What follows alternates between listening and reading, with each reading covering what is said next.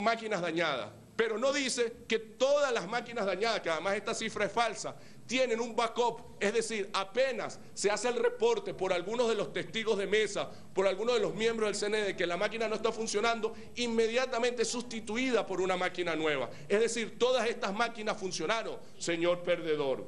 Después dice de forma irresponsable que en 1.176 centros donde Maduro sacó más votos que Chávez y que quién se va a creer eso, que en un centro en Yaracuy Nicolás Maduro sacó 943% votos más. Sí, pero en ese mismo centro electoral usted sacó 300% votos más. ¿Por qué? Porque en ese voto Chávez sacó, en ese centro electoral, Chávez sacó el 7 de octubre 7 votos y Nicolás Maduro 73. Y usted sacó dos votos en, el 7 de octubre y ahora 6 votos. Por eso los crecimientos, porque no da las cifras reales y usted las tiene, es un irresponsable.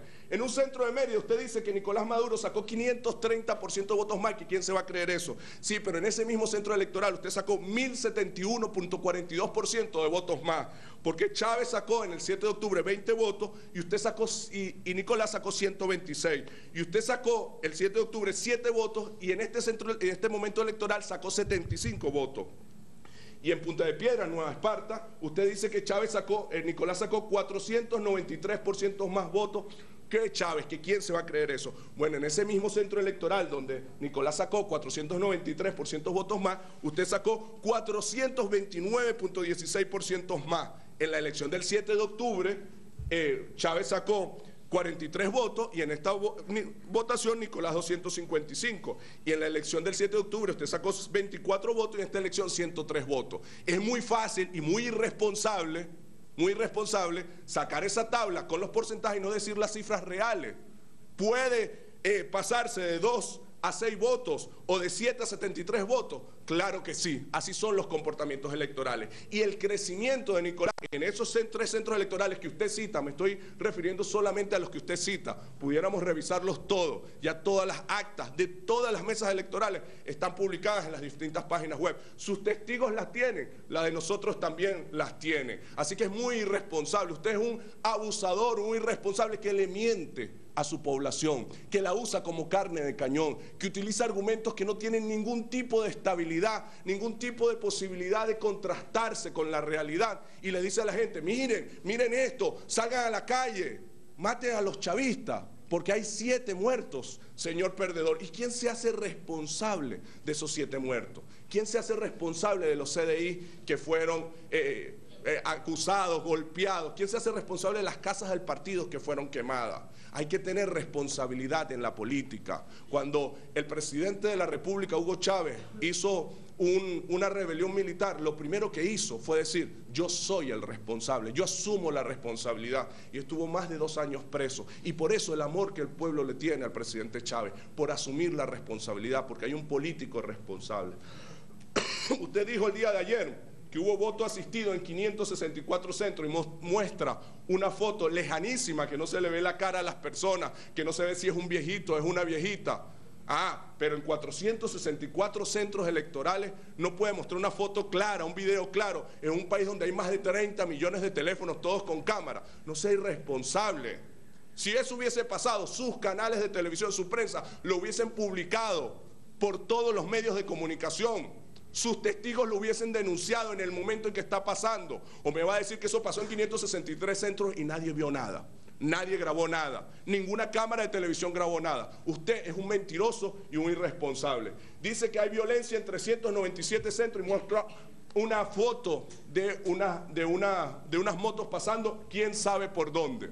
Ah, ese es el problema entre ustedes y nosotros. Para ustedes, un motorizado es sinónimo de pobre. Y un pobre para ustedes es sinónimo de malandro. Y entonces eso es violencia. No, aquí hay libre tránsito, compadre. Aquí la gente puede andar en carro, o puede andar en moto, o puede andar en pie, a pie, o puede andar por Buscaraca con total normalidad. Y el, eso, y el hecho de que un pobre, un humilde estemos pasando por la calle no quiere decir que estamos intimidando. Ah, pero lo que pasa es que en el país de ustedes, ustedes pueden andar en sus carros, en sus tremendos carros, y el pueblo humilde, el pueblo de a pie, no puede andar no puede transitar, no tiene derecho al libre tránsito. Esa es la diferencia entre ustedes y nosotros. Lo que sí hubo violencia es en el centro electoral donde votaron los artistas, en el centro electoral donde votó el Potro Álvarez, o eso no lo va a denunciar, eso sí es violencia. Eso sí es intimidación, porque ustedes no aceptan que alguien piense distinto a ustedes, porque ustedes no aceptan que un ciudadano diga, no, yo soy chavista, y lo atacan, y lo golpean, y le gritan, y lo condenan. Eso sí es intimidación. Yo, voy a yo sí quiero contrastar el video donde el potro está votando contra la foto de unas motos pasando por la calle. ¿Por dónde van a pasar las motos? Pues las motos tienen que pasar por las calles. ¿Para qué son las motos? No son para andar por las calles. ¿Cuál es el hecho de violencia? De que unas motos anden por la calle. No sea irresponsable, no sea mentiroso, no trate de utilizar los medios de comunicación para engañar al país, para llevar al país a la violencia, para llevar al país a la calle, para llevar al país a quemarse de ahí, para llevar casas del partido, para llevar al país a matar siete chavistas que estaban defendiendo los CDI. Nosotros de aquí vamos al velorio de un compañero de la juventud del partido que ustedes asesinaron. Cuando hablo de ustedes no hablo de la población que hoy es oposición, hablo de, la, de los líderes de esa posición. Conozco muchos compañeros, gente venezolana, que vota distinto a como yo pienso y que me han dicho esto, yo no estoy de acuerdo con desconocer el árbitro, porque es una actitud caprichosa. Es como un amigo que yo tenía en la infancia, que era el dueño del balón, nosotros no teníamos balones y si él no jugaba o perdía, se llevaba el balón. Así quiere comportarse usted, señor perdedor, como el dueño del balón. No, usted no es el dueño de Venezuela. Aquí hay un órgano electoral, aquí hay unas fuerzas armadas, aquí hay un pueblo, la mayoría votamos, se tomó una decisión y se respeta la decisión. Siga echándole pichón, siga recorriendo el país, siga conociendo el país, siga, sabiendo cómo se llama un pescado, cómo se llaman los municipios. Quizás algún día la mayoría del pueblo vote por usted. Dice que hay proselitismo en los centros. Bueno, primero que nada, esto no es un centro electoral en todos los centros electorales, a dos, tres cuadras, el comando de la Mesa de la Unidad tenía un centro de operaciones y el comando del chavismo tenía un centro de operaciones revisando sus patrullas, revisando su movilización, acordando su logística. Todos los centros electorales que yo visité, visité varios en el estado Bolívar, varios en el estado Miranda, donde voto, yo vi los centros electorales cerca, a dos, tres cuadras, el comando operativo de ustedes. Muchos me saludaron, o no es verdad que usted en todos los centros electorales tenía un comando de operaciones de su comando de campaña, como es natural. No nos podemos engañar, ¿no cree usted que el pueblo venezolano es tonto, es bobo? Testigos retirados, 286 centros, incluso dijo que los retiraron a pistola. Y no hay ni una foto, ni un video, ni una prueba, ni una denuncia en el día. O sea, sus testigos lo sacaron y se quedaron tranquilos, no tomaron una foto. No sea mentiroso. Estas láminas no son prueba de nada, son prueba solamente de su mentira. Todas esas láminas son pura mentira. Como también es mentira que usted a esta hora, a esta hora del día, día miércoles, tres días después de las elecciones presidenciales, no ha hecho la solicitud formal para que haga un proceso, se haga un proceso de auditoría o de chequeo de las cajas, como lo ha dicho públicamente. Eso es una irresponsabilidad. Aquí hay un Estado de Derecho, aquí hay unas instituciones, aquí hay una democracia.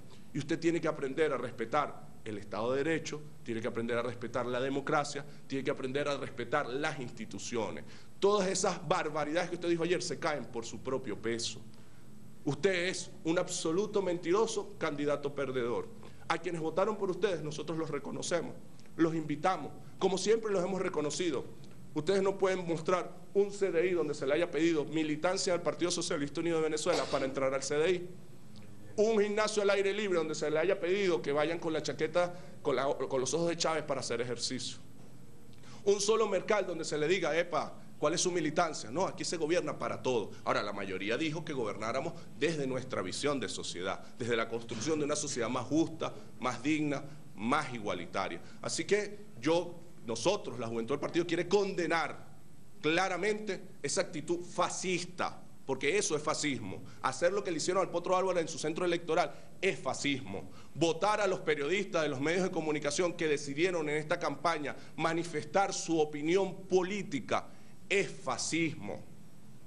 Mandar a la gente a la calle porque desconoces el resultado electoral del mismo órgano electoral, de los mismos rectores que hicieron tus internas del mismo órgano electoral, de los mismos rectores que llevaron el proceso electoral de las gobernaciones donde ganaste por dos puntos, por dos puntos, por 40 mil votos, es fascismo. Mandar a la gente a la calle de carne de cañón y tú quedarte en una oficina tranquilito con aire acondicionado, es fascismo. Reconoce los resultados, sé valiente. ¿No estás de acuerdo? Ve al CNE, pide la auditoría, que por cierto se han hecho 14 auditorías donde han participado todos los miembros de la oposición y las han firmado y las han avalado. Se auditaron el 54% de las cajas de forma aleatoria en todos los centros electorales y no hay ni un solo detalle que puedas demostrar de que hubo error o falla.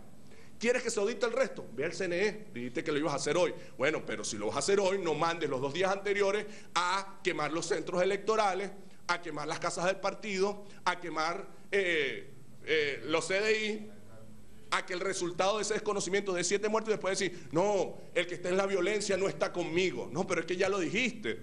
Tú el mismo día mandaste a la gente para la calle. Es una absoluta irresponsabilidad. Nosotros llamamos a la paz, llamamos al entendimiento, llamamos a la democracia, llamamos a que todas y todos los venezolanos nos aceptemos con nuestras diferencias, con nuestras fallas, con nuestros errores. Nosotros no nos verán en ningún momento atacando a alguien en el centro electoral porque piensa distinto a nosotros, cayéndole a gritos, dándole golpes. No nos verán en ningún momento yendo a quemar eh, una clínica privada. No nos verán en ningún momento desconociendo al árbitro electoral. Hasta cuando hemos perdido por poquitico, como en la reforma, como en la gobernación de Miranda, lo reconocemos, perdimos, seguiremos trabajando para ganar en la próxima elección. Nosotros hacemos un llamado al reconocimiento del Estado de Derecho. Esto fue un proceso democrático hermoso, legal, se cumplieron con todos los procesos legales. Apenas se supo la noticia de la partida física de nuestro presidente, se convocó a elecciones inmediatamente como manda la Constitución. Legítimo, participó el 80% de la población. Por cierto, señor candidato perdedor, usted parece que no pasó por la escuela de Derecho no conoce lo que significa el término legitimidad. Cuando una población va y participa masivamente, como lo hizo, más del 80% de participación, está dándole legitimidad al proceso político, está dándole legitimidad a los órganos electorales, está dándole legitimidad a sus Fuerzas Armadas. Así que si algún presidente es legítimo, es este presidente que fue electo con el 80% de participación de la gente con el 80%. Democrático, porque la decisión que se tomó es la que la mayoría decidió. Legal, legítimo y democrático. Le recomiendo repase sus apuntes de la universidad para que hable con propiedad. Le recomiendo que los equipitos que les hacen las láminas se las sustenten mejor. No le pongan solamente los porcentajes, sino los números reales. Haga, busque mejores pruebas, porque si esto fuese un juicio jurídico, perdería en el primer round, como viene perdiendo reiteradas ocasiones. Haga la solicitud formal si usted desea que no sea solamente el 54%, si ustedes creen que el, otro 46% que no se ha auditado, porque no lo dicen las leyes, las leyes dicen que se tiene que auditar el 54%, una muestra aleatoria, como en ningún país se hace, haga su solicitud formal y el órgano electoral le responderá si hay razones, porque además tiene que decir, ¿Por qué quiere? Porque no ha presentado una sola prueba válida. Puro, puro potedrumo, que van sus medios y se lo reproducen.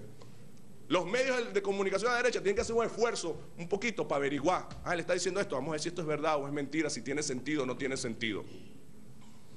Hacemos un llamado, primero felicitar a la juventud del Partido Socialista y el movimiento.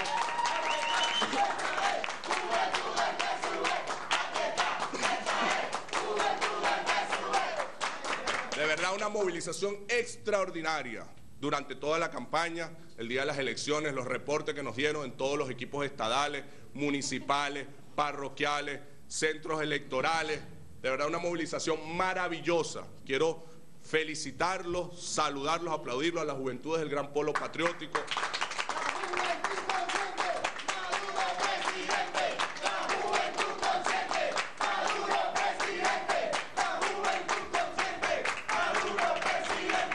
Movimiento por la Paz y por la Vida, a todos esos jóvenes artistas, deportistas que se han sumado, bienvenidos sean.